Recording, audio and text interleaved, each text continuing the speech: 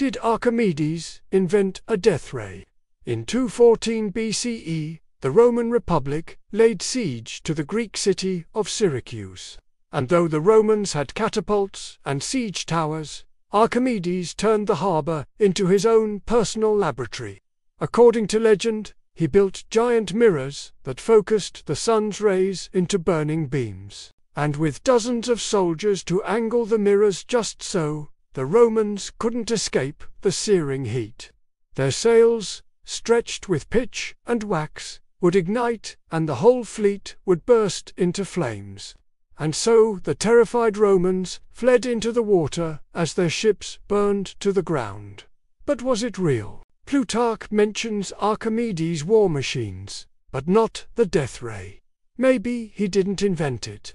Maybe he just borrowed it from someone else. But either way, the legend lives on. Thank you for watching. Please like and subscribe, and we look forward to seeing you next time on History Dude B. C.